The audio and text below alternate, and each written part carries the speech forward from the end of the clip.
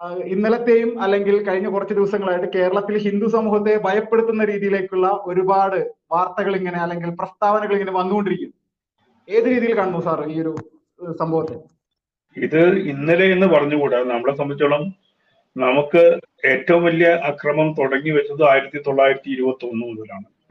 ആ ആയിരത്തി തൊള്ളായിരത്തി ഇരുപത്തി ഒന്നിന്റെ അലയ അടികൾ ഇതുവരെയും മാഞ്ഞിട്ടില്ല എന്നുള്ളതാണ് എന്റെ ഒരു അഭിപ്രായം. കാരണം നമ്മൾ ഇടയ്ക്ക് കേട്ടു അന്ന് ഊരിയ വാൾ കടലിൽ എറിഞ്ഞിട്ടില്ല. അതിപ്പോഴും ഞങ്ങൾ സൂക്ഷിച്ചു വെച്ചിരിക്കുക എന്ന് പറഞ്ഞിട്ടാണ് ഈ മാപ്പിള വേഷവുമായിട്ട് കുറെ ആൾക്കാർ റോട്ടിൽ ഇറങ്ങി നമ്മളെ ഭീഷണിപ്പെടുത്തി. അത് കഴിഞ്ഞിട്ട് അവിലും മലരും വാങ്ങിച്ചോ കുന്തിരിക്കാൻ വാങ്ങിച്ചോ എന്ന് പറഞ്ഞ് നമ്മളെ ഭീഷണിപ്പെടുത്തി. അങ്ങനെ ഭീഷണിയുടെ നടുവിൽ നിൽക്കാൻ തുടങ്ങിയിട്ട് ഹിന്ദു സമൂഹം നിൽക്കാൻ തുടങ്ങിയിട്ട് ശരിക്കും പറഞ്ഞാൽ നൂറ്റാണ്ടുകളായി. മലബാറിലെ ഹിന്ദു സമൂഹം നൂറ്റാണ്ടുകളായിട്ട് ഇത് അനുഭവിച്ചു വരുന്ന ഒരു വ്യവസ്ഥ വ്യവസ്ഥിതിയാണ്. അന്നൊക്കെ നമുക്ക് കുറച്ചും കൂടി ഭയക്കുറവുണ്ടായിരുന്നു. കാരണം നമ്മൾ വെറും ന്യൂനപക്ഷമായിരുന്നില്ല. ഇന്ന് നമ്മൾ ന്യൂനപക്ഷമായിരിക്കുകയാണ് മലബാറിന് അങ്ങനെ ന്യൂനപക്ഷമാകുന്ന മലബാറിൽ ന്യൂനപക്ഷമാകുമ്പോൾ തന്നെ ഭൂരിപക്ഷം എന്ന് പറയുന്ന ഒരു അവസ്ഥയിലേക്ക് ഈ പറയുന്ന ജിഹാദികൾ മാറിയിട്ടുണ്ട്. അവരുടെ വോട്ട് ബാങ്ക് അത്ര കണ്ട് സുരക്ഷിതമായി മാറിയിട്ടുണ്ട്. ആ വോട്ട് ബാങ്കിന്റെ സുരക്ഷിതത്വത്തിൽ നിന്നുകൊണ്ട് തന്നെയാണ് ആധുനിക കാലത്തെ വെല്ലുവിളികൾ. നമ്മൾ ഹിന്ദു ഹിന്ദുവിന്റെ ആചാരങ്ങളും അനുഷ്ഠാനങ്ങളും ഇന്നോ ഇന്നലെയോ തുടങ്ങിയതല്ല ആ അനുഷ്ഠാനങ്ങൾക്കെതിരെയുള്ള ഒരു പടപ്പുറപ്പാട്. ഇത് ഞാൻ പഠിച്ച കാലഘട്ടം എന്ന് പറയുന്നത് ഇബ്രാഹിം നബിയുടെ കാലഘട്ടത്തിലാണ് ഈ വിഗ്രഹങ്ങൾ തച്ചു തുറക്കാൻ ശ്രമിച്ചത്. ഞാൻ എന്റെ മദ്രസയിൽ പഠിച്ചതാണ്. അതായത് അനങ്ങാൻ പറ്റാത്ത മിണ്ടാൻ പറ്റാത്ത പ്രവർത്തിക്കാൻ പറ്റാത്ത വിഗ്രഹങ്ങളെയാണോ നിങ്ങൾ ആരാധിക്കുന്നത് എന്ന് ചോദിച്ചുകൊണ്ട് ഇബ്രാഹിം നബിയാണ് ആദ്യമായി ക്ഷേത്ര ധ്വംസനം നടത്തിയത് എന്നാണ് ഞാൻ പഠിച്ചത് എന്റെ ബാല്യകാലത്തിൽ എന്റെ മദ്രസയിൽ. അപ്പൊ അന്നു മുതൽ തന്നെ വിഗ്രഹങ്ങളെ ഇല്ലാതാക്കുക എന്നുള്ളതാണ് ഇസ്ലാമിന്റെ അജണ്ട. അത് ഏത് ഇസ്ലാമിനോട് നിങ്ങൾ ചോദിച്ചാലും നിങ്ങൾ വിഗ്രഹത്തെ ആരാധിക്കുന്നുണ്ടോ ഇല്ല ഞങ്ങൾ വിഗ്രഹത്തെ എതിർക്കുന്നവരാണ്. അപ്പൊ ആ വിഗ്രഹത്തെ തച്ചുടച്ചുകൊണ്ട് തന്നെയാണ് കയബ എന്ന് പറയുന്ന ഇന്നത്തെ നമ്മുടെ പള്ളി കയബ പള്ളി. ആ അവിടെ മുന്നൂറ്റി അറുപതോളം ഐഡിയൽസ് ഉണ്ടായിരുന്നു എന്ന് പറയുന്നു. അവിടുത്തെ വിഗ്രഹങ്ങൾ തച്ചുടച്ചുകൊണ്ട് തന്നെയാണ് ഇസ്ലാമിക പ്രസ്ഥാനം ആരംഭിക്കുന്നത്. അന്നു മുതൽ ഇന്ന് വരെയും തന്നെ ഇവർ അടിച്ചുടച്ച വിഗ്രഹങ്ങളുടെ കണക്കുകൾ നമ്മുടെ മുമ്പിൽ നമുക്ക് എണ്ണിയാൽ ഒടുങ്ങാത്ത അത്രയും വിഗ്രഹങ്ങൾ ഇവർ തച്ചുടച്ചിട്ടുണ്ട്. അതിൽ പെടുന്നതാണ് ഇന്ന് നമ്മൾ പുനരുദ്ധരിക്കുന്ന രാമക്ഷേത്രം പോലും. വ്യാ ഗ്യാൻ വ്യാപിയുടെ സമരം നമ്മളിപ്പോൾ കണ്ടുകൊണ്ടിരിക്കുന്നു.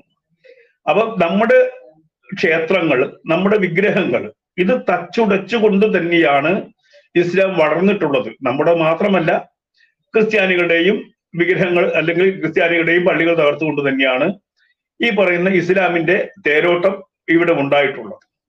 അത് ഒരിക്കലും അവസാനിക്കാത്ത കാരണം അവരുടെ വിശ്വാസ പ്രമാണങ്ങളിൽ കുത്തി നിറച്ചിട്ടുള്ള എന്താണ് ഒരു ഞാൻ എന്റെ ദൈവം മാത്രം എന്റെ പ്രവാചകൻ മാത്രം എന്നുള്ള അടിസ്ഥാനപരമായ വിശ്വാസത്തിന്റെ ബഹിസ്ഫുരണമാണ് ഇന്ന് നമ്മൾ കേട്ടുകൊണ്ടിരിക്കുന്നതെല്ലാം തന്നെ. ഇത് ഒരു ചില കോണുകളിൽ നിന്ന് മാത്രം ഉയരുന്ന ഒരു ശബ്ദമല്ല. ഇത് ഈ പറയുന്ന ഈ ഏറ്റവും വിശുദ്ധീകരിക്കപ്പെട്ട ഗ്രന്ഥം എന്ന് കൊട്ടിഘോഷിക്കുന്ന ഗ്രന്ഥത്തിൽ എഴുതിയിരിക്കുന്ന സംഗതികളാണ് ഇന്ന് ഈ ഒളിഞ്ഞു തിരിഞ്ഞും ഒരു വശത്ത് ഞങ്ങൾ എന്താണ് സമാധാന പ്രിയരാണെന്ന് പറയുകയും മറുവശത്ത് നിങ്ങളുടെ വിഗ്ര നിങ്ങളുടെ ആരാധനാലയത്തിന് മുമ്പിൽ കെട്ടിത്തൂക്കി പച്ചയ്ക്ക് കത്തിക്കും എന്ന് പറയുന്നു. പച്ചയ്ക്ക് കത്തിച്ചിട്ടുണ്ട് വരുന്നതിന് മുന്നേ. പച്ചയ്ക്ക് കത്തിക്കുക എന്ന് പറഞ്ഞാൽ ആയിരത്തി തൊള്ളായിരത്തി ഇരുപത്തി ഒന്നിലെ ഒരു വിഷു നിങ്ങൾ ആലോചിക്കണം. തിളച്ച വെള്ളത്തിലേക്ക് മനുഷ്യനെ ഇട്ട് ആ തിളച്ച വെള്ളത്തിൽ കടന്ന് അവന്റെ ഈ എന്താണ് പറയുന്നത്? തൊലി കുമളച്ച് പൊട്ടി ഒലിക്കുമ്പോൾ അതിൽ ഉപ്പും മുളകും വാരി തേച്ച് കൈകൾ ബന്ധിച്ച് മരത്തിൽ ദിവസങ്ങളോളം തൂക്കിയിട്ട് കൊന്ന ചരിത്രം നമ്മൾ മറന്നു പോകരുത്. അതുകൊണ്ട് ഇവർ തൂക്കി പച്ചയ്ക്ക് കത്തിക്കുമെന്ന് പറഞ്ഞു കഴിഞ്ഞാൽ അത് അവരുടെ അജണ്ടയുടെ ഭാഗമാണ് എന്ന് ഉറപ്പിച്ച് വേണം മുന്നോട്ട് പോകാൻ. ആ അവസ്ഥയിൽ നിന്ന് തന്നെയാണ് ഞാൻ ഈ ഇത് കാണുന്നത്. ഇപ്പൊ നമുക്കറിയാം നമ്മുടെ തൊട്ടടുത്ത രാജ്യമായ അഫ്ഗാനിസ്ഥാനിൽ അവരെന്താണ് ചെയ്തത് എന്ന് നിങ്ങൾ ഇന്ന് കണ്ടുകൊണ്ടിരിക്കുകയാണ്.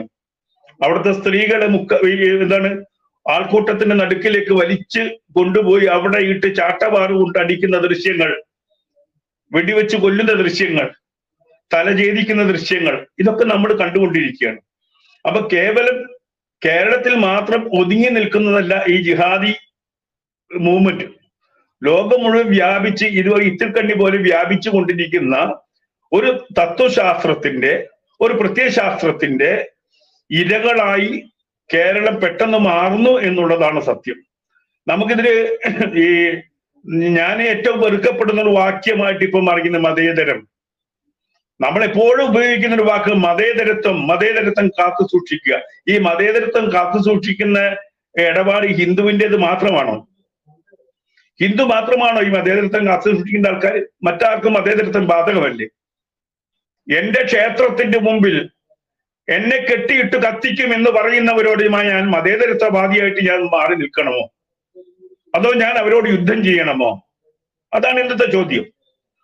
എന്നെ കെട്ടിത്തൂക്കിയിട്ട് പച്ചയ്ക്ക് കത്തിക്കും എന്ന് പറയുന്ന മുസ്ലിം ലീഗിനോട് നമുക്ക് അങ്ങനെ തന്നെ പറയണല്ലോ മുസ്ലിം ലീഗിന്റെ വക്താക്കളാണല്ലോ ഇന്ന് ഈ വിളിച്ചത് എന്നിട്ട് പേരിനൊരു പുറത്താക്കലും. പക്ഷെ അത് ഏറ്റു വിളിച്ച നൂറ് ഖണ്ഡങ്ങളുടെ ശബ്ദം ഞാൻ കേട്ടതാണ്. ഞാനൊരു ഹിന്ദുവായിക്കൊണ്ടാണ് ഞാനത് കേൾക്കുന്നത്. ഞാൻ അതുകൊണ്ടാണ് പറഞ്ഞത്. കഴുമരം സൃഷ്ടിക്കുമ്പോൾ ഈ രാമസിംഹൻ എന്ന് പറഞ്ഞ വെയിറ്റ് കൂടി ആളെ തൂക്കുന്ന കഴുമരങ്ങളും നിങ്ങൾ സൃഷ്ടിക്കണം. കാരണം ഞങ്ങളെ പോലെ തൂക്കുമ്പോൾ കുറച്ച് ബലം വേണം ഇല്ലെങ്കിൽ കഴുമരം മുടിഞ്ഞു പോകും. ഞങ്ങളൊക്കെ റെഡിയാണ് തൂങ്ങാൻ. എന്റെ വിശ്വാസത്തിന് വേണ്ടി എന്റെ സംസ്കാരത്തിന് വേണ്ടി നിങ്ങൾ ഞങ്ങളെ അങ്ങ് തൂക്കിക്കളയാമെങ്കിൽ നെഞ്ചും വിരിച്ചു നിന്ന് തൂങ്ങാൻ ഞങ്ങൾ റെഡിയാണ് അവസാന ശ്വാസം വരെയും ഹരേ രാമ വിളിച്ചുകൊണ്ട് തന്നെ മുന്നോട്ട് പോകാനേ നിങ്ങൾ പറഞ്ഞല്ലോ രാമായണം വായിക്കാൻ അവർ പറയുന്നു രാമായണം വായിക്കാതെ ഊക്കിക്കൊല്ലുന്ന പറഞ്ഞത്. രാമായണം വായിക്കേണ്ട കാര്യ കാര്യമില്ല. അത് നെഞ്ചിൽ കൊത്തി വെച്ചിട്ടുണ്ട് ഹൃദയത്തിൽ കൊത്തി വെച്ചിട്ടുണ്ട്. ആരും വായിച്ചു തരേണ്ട കാര്യമൊന്നുമില്ല. ഹരേ രാമ എന്ന ശബ്ദം അത് നെഞ്ചിൽ കൊത്തി വെച്ചിട്ട് തന്നെയാണ് ഹിന്ദുവായിട്ട് നിൽക്കുന്നത്. അപ്പൊ ആ രീതിയിലൊക്കെ ഭയപ്പെടുത്തുമ്പോ നിങ്ങൾക്ക് അതുപോലും കേൾക്കാൻ പറ്റില്ലേ? രാമശബ്ദം പോലും കേൾക്കാതെ നിങ്ങൾ നീറി നീറി മരിക്കണമെന്ന് പ്രഖ്യാപിക്കുമ്പോ ഒരു ഹിന്ദു എന്ന നിലയിൽ തിരിച്ചു കാര്യങ്ങൾ വിശദീകരിക്കാനും പറയാനും എന്റെ ഹിന്ദുബോധത്തെ അല്ലെങ്കിൽ എന്റെ ചുറ്റുപാടുമുള്ള ഹൈന്ദവരോട് കരുതിയിരിക്കാൻ പറയാനും എനിക്ക് അവകാശമുണ്ട്. ഇന്ന് നമ്മൾ അതാണ് ചെയ്തുകൊണ്ടിരിക്കുന്നത്. കരുതിയിരിക്കുക. അവർ നിങ്ങളുടെ മൂട്ടിലെത്തിയിരിക്കുന്നു. നിങ്ങൾ നിൽക്കുന്നത് ബോംബിന്റെ മൂല ഏത് നിമിഷവും പൊട്ടിപ്പോകാവുന്ന ഒരു പക്ഷേ ഇന്ന് അത് ഇവിടുത്തെ രാഷ്ട്രീയക്കാർ മനസ്സിലാക്കിയിട്ടില്ല. ഹിന്ദുവിന്റെ കൂടെ ആരാണ് ഉള്ളത്? ഞാൻ മൂന്ന് നാല് ദിവസമായിട്ട് ശ്രദ്ധിച്ചുകൊണ്ടിരിക്കുകയാണ്. ഒരു കോൺഗ്രസ്സുകാരന്റെ ഹിന്ദുവായി പൊട്ടും തൊട്ടു നടക്കുന്ന ഒരു കോൺഗ്രസ്സുകാരന്റെ നാവിൽ നിന്നും ഈ നിമിഷം വരെ ഒരു വാക്ക് പുറത്തേക്ക് ചാടിയിട്ടില്ല. ഇന്നലെ ഇന്നുമായിട്ട് ഞാനിങ്ങനെ ശ്രദ്ധിച്ചുകൊണ്ടേയിരിക്കുകയാണ്. ആ വാക്ക് ആരുടെയെങ്കിലും വാക്കിൽ കോൺഗ്രസ്സുകാരുടെ വാക്കിൽ നിന്ന് നാവിൽ നിന്ന് കിട്ടുമോ എസ് എൻ ഡി പി നേതാവിന്റെ വായിൽ നിന്നും ഇതുവരെയും ഒരു വാക്ക് പുറത്തേക്ക് വീണതായിട്ട് ഞാൻ കേട്ടില്ല. എൻ എസ് എസിന്റെ നേതാവിന്റെ വായിൽ നിന്നും ഞാൻ ഗണപതി ഹോമം ചെയ്യുന്നവനാണ് ഞാൻ ഗണപതി പൂജ ചെയ്യുന്നവനാണ്. അതുകൊണ്ട് ഇത് തോന്നിവാസമാണ് പറഞ്ഞതെന്ന് എൻ എസ് എസിന്റെ നേതൃത്വത്തിൽ നിന്നും ഞാൻ കേട്ടിട്ടില്ല. അവരാരും ശബ്ദിച്ച് നിശബ്ദമായിക്കൊണ്ട് നിങ്ങൾ ഞങ്ങളെ കൊന്നുപോ കൊന്നു കൊന്നുകൊള്ളൂ ഞങ്ങൾക്ക് പ്രശ്നമില്ല ഞങ്ങൾ മതേതരവാദികളാണ് എന്ന് ഉള്ള രീതിയിലാണ് അവർ നിലകൊള്ളുന്നത്. അതുകൊണ്ട് ഇന്ന് ഇന്നലെ നാം കേട്ട മുദ്രാവാക്യവും മൂന്നാൽ ദിവസം മുമ്പ് നമ്മുടെ ഈ നമ്മുടെ എന്താണ് പറഞ്ഞ കേരളത്തിന്റെ നിയമസഭയെ നിയന്ത്രിക്കുന്ന സ്പീക്കർ അദ്ദേഹത്തിന്റെ വായിൽ നിന്ന് കേട്ട വാക്കുകളും അതിനു മുമ്പ് സ്പീക്കർ അദ്ദേഹം തന്റെ ഗ്രന്ഥത്തെ കുറിച്ച് വാദോരാതെ സംസാരിക്കുന്ന പുകഴ്ത്തി സംസാരിക്കുന്ന പ്രസംഗവും കേട്ട് എനിക്ക് കേരളത്തിന്റെ അവസ്ഥയിൽ കേട്ട് എനിക്ക് കേരളത്തിന്റെ അവസ്ഥയിൽ ലജ്ജ തോന്നുന്നുണ്ട്. കേരളത്തിലെ രാഷ്ട്രീയക്കാരുടെ മൗനത്തിൽ ലജ്ജ തോന്നുന്നുണ്ട്. പലരുടെയും ഐഡന്റിറ്റി എന്താ തുണി പൊന്തിച്ച് നോക്കേണ്ടുന്ന ഗതികേടിലേക്കാണ് കേരളം മാറിയിരിക്കുന്നത്. അവരുടെ നെറ്റിയിലെ കുങ്കുമവും അവരുടെ നെറ്റിയിലെ ചന്ദനവും അടയാളമായി വെച്ചുകൊണ്ട് നടക്കുന്ന പല ഹൈന്ദവ നേതാക്കളും അത് കോൺഗ്രസ്സുകാരട്ടെ കമ്മ്യൂ കമ്മ്യൂണിസ്റ്റുകാരാവട്ടെ അവർക്കൊന്നും ഹിന്ദുത്വം എന്ന് പറയുന്ന സ്വത്വബോധം ഇല്ലെങ്കിൽ അവരുടെ അടയാളങ്ങൾ മാറിയിരിക്കുന്നു എന്നുള്ളതാണ് സത്യം. ആ ഒരു അവസ്ഥയിൽ നിന്നുകൊണ്ട് വേണം ഇന്ന് ഹിന്ദുവിനെ കുറിച്ച് ചിന്തിക്കാൻ ഹിന്ദുവിന്റെ ഭാവിയെ കുറിച്ച് ചിന്തിക്കാൻ. ഇന്നലകളിൽ നിന്ന് നാം പാഠം ഉൾക്കൊണ്ടിട്ടില്ല. ഹൈന്ദവൻ പാഠം ഉൾക്കൊണ്ടിട്ടില്ല. അപ്പോഴും ഇപ്പോഴും അവൻ വിശ്വസിക്കുന്നത് ഏയ് കുറച്ചു പേര് അങ്ങനെ വിളിച്ചാൽ എല്ലാവരും നാളെ ഇങ്ങനെ ചെയ്യുമോ? എന്നുള്ളതാണ്. കുറച്ചു പേര് അങ്ങനെ വിളിച്ചാൽ എല്ലാവരും ഇങ്ങനെ ചെയ്യുമോ? തഞ്ചം കിട്ടിയാൽ ചെയ്യും. തഞ്ചം കിട്ടിയാൽ ചെയ്യും. അവസരം ഒത്തു വരാൻ വേണ്ടി കാത്തിരിക്കുക. ഏകദേശം ആ അവസരം ഒത്തു വന്നു. കാരണം എന്താ? അവർ അവർ ഭരിക്കുന്ന ജിഹാദികൾ ഭരിക്കുന്ന കമ്മ്യൂണിസ്റ്റ് പാർട്ടി ജിഹാദികൾ നിയന്ത്രിക്കപ്പെടുന്ന ജിഹാദികളാൽ നിയന്ത്രിക്കപ്പെടുന്ന കമ്മ്യൂണിസ്റ്റ് പാർട്ടി ജിഹാദികളാൽ നിയന്ത്രിക്കപ്പെടുന്ന കോൺഗ്രസ് പാർട്ടി. ഇതിനപ്പുറം ഇനി എന്ത് അവസരമാണ് അവർക്ക് കിട്ടാനുള്ളത്? അവർക്ക് എന്ത് ഭീഷണിയും മുടക്കാം? അതുകൊണ്ട് എനിക്ക് ഈ ഹൈന്ദവ സമൂഹത്തോട് പറയുന്നത് ഈ മതേതര കുപ്പായം ഉണ്ടല്ലോ അത് വലിച്ചൂരി കളയണം. നിങ്ങൾ നിങ്ങളുടെ ധർമ്മത്തിന് വേണ്ടി പോരാടേണ്ടുന്ന സമയമാണ്. ആരുമില്ലാത്ത അവസ്ഥയിലാണ് ഹിന്ദു എന്ന് പറഞ്ഞാൽ അതിശയിക്കാവില്ല കാരണം ഞാൻ ശ്രദ്ധിച്ചുകൊണ്ടിരിക്കുകയാണ് സമൂഹത്തെ.